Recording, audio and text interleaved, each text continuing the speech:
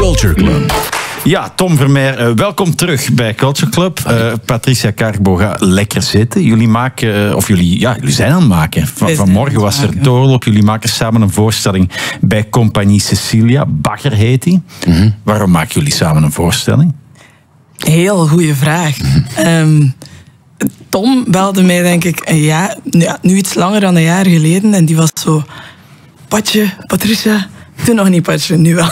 Eh. Patricia, ik, ik kan je zien spelen en ik wil dat hij meedoet in mijn volgende voorstelling Bagger. Waar gaat je Patricia zien spelen, Tom? Uh, bij... Um, uh, in Richard van Camping Sunset. Ja.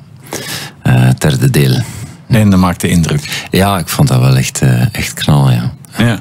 Eh, jij noemde de samenwerking tussen jou en Patricia een interessante combinatie. Eh, je zegt, ik ben een man, uh, witte man van middelbare leeftijd. Patricia, een jonge actrice met West-Vlaamse en Sierra Leonse roots. Klopt. Uh, Patricia, hoe verliep die clash van generaties van, van afkomst voor jou?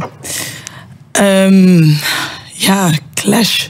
Of was het dat niet? Uh, wel, ik denk dat we in de eerste plaats dachten dat er een grotere clash zou zijn.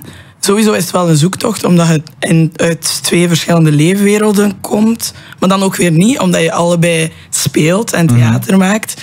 En ik denk dat we elkaar redelijk snel hebben gevonden in wie dat wij zijn als mensen en wat wij willen. En dat dat gevoelsmatig redelijk dicht bij elkaar ligt. Mhm, maar dat was wel het uitgangspunt, van, vanuit het contrast tot iets komen? Ah, wel, eh, oorspronkelijk wou ik die voorstelling eigenlijk als monoloog maken. Ik had, ik had uh, het gevoel dat ik iets moest doen rond uh, een, een, extreme polarisatie dat er aan de hand is. Mm -hmm. sociale media die daar ook een rol in spelen. mensen die kwaad zijn. en eigenlijk, eerlijk gezegd, we leven in een wereld waar dat er niet zoveel reden is om kwaad te zijn. Mm -hmm. ja. En, en was ik op zoek van, oké, wat is het midden?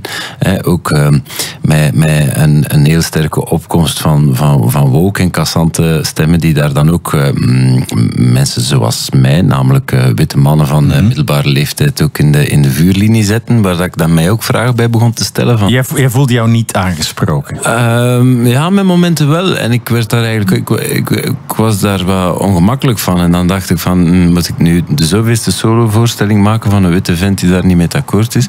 Dat is eigenlijk ook... Uh, en, en ook, het heeft geen zin om daar dan ook weer tegenin te gaan. Waar is het midden? En dat is eigenlijk waar dat we uitgekomen zijn met de voorstelling ook van waar, ja, we, zitten, we zitten waar we zijn en we moeten samen door dezelfde deur. En, um, ik denk dat we vooral op dat punt zijn uitgekomen omdat we zijn eigenlijk begonnen met Tom die een manifest had geschreven met mhm. alles wat dat er gaande in zijn hoofd ging en ik die daar een antwoord op, heb geschreven. En dat we merkten dat er daar heel veel woede vanuit allebei de kanten naar elkaar toe mm was. En dan, dat je dan toch beseft, ah, maar dat is ook niet heen waarmee dat je een publiek of, men, of mensen wil aanspreken. Dus, en dan uh, On Connection van Kate Tempest heeft ons vrij hard ook geïnspireerd in ja, On Connection. Hoe vinden elkaar terug en ja, het spelen en het leven en wij als mensen dat klinkt ook een beetje corny, maar toch is het wel zo van hoe kunnen verbinden en daar naar op zoek. Mm -hmm. en hoeveel, hoeveel van die oorspronkelijke manifesten is er in de voorstelling ja, zijn, gebleven? Er zijn daar restanten van, van gebleven. En, en het fijne is ook dus dat we spelen met... Uh, we spelen eigenlijk voornamelijk met, met generatie en met identiteit. Ja. Uh, en die identiteit, of heel die identitaire kwestie, die projecteren we eigenlijk op onszelf. Uh, en vooral op ons vak. Hè. Dus we spelen eigenlijk met het feit dat we daar staan als natuurlijke persoon Tom en Patricia. Maar ook dus de fictieve personages Tom. Die heel dicht bij onze leefwereld en, en, en waar wij op dit punt in ons leven staan, maar die wel gefictionaliseerd zijn. Ja. Um, en, um, ja, dus de, is dat een antwoord op uw vraag? Nee, maar ik denk dat. maar ik, ik denk dat om daarop nog op aan te sluiten, dat. Um, dat het mooie eraan is dat wij allebei, toen dat we begonnen zijn aan dit proces, op een best fragiel punt stonden. Dus vanuit een heel grote eerlijkheid met elkaar spraken van kijk, ik voel mij momenteel zo. En Tom heeft daar juist dan ook aangegeven dat hij zei van ja, als witte cisman voel je dan aangevallen. Maar dan zei ik, maar ja, ik heb het soms ook. Ik ben net begonnen en ik weet het soms ook niet goed in deze sector. Of wat ik doe in spelen, waarom dat gevraagd wordt, voor welke redenen. En echt vanuit die eerlijkheid zijn we beginnen spreken met elkaar. En heel hard merken dat hoe hard dat genera generatieverschil er is, dat we eigenlijk allebei aan het zoeken zijn. Ja, ja en dat er heel veel midden is. Hè. En ah ja, dat was, uw, dat was uw vraag. Hoeveel van die oorspronkelijke manifesten is er overgebleven? Ja. ja, best wel wat. Maar eigenlijk... Um, um, op, op, op een lichte toon. Uh, vooral het, het uh, zelfrelativeren en, en het, uh, het ja, licht potsierlijke daarvan toch ook wel in de verf zetten. Ja. Muziek is ook heel belangrijk in de voorstellingen. Ja, dat klopt. de energie van rap gebruiken jullie, van postpunk las ik. is het een boze voorstelling toch? Uh, nee, eigenlijk totaal niet. Nee. Uh, het is, daar, daaruit is het vertrokken, maar zoals het dat dan gaat in, in een repetitieproces, is dat eigenlijk niet meer ongelooflijk de referentie. Hè. De, er zitten wel nog, uh, laten we maar zeggen, zo wat Viagra Boys-achtig geïnspireerde dingen in. Mm -hmm. maar er zit ook heel veel.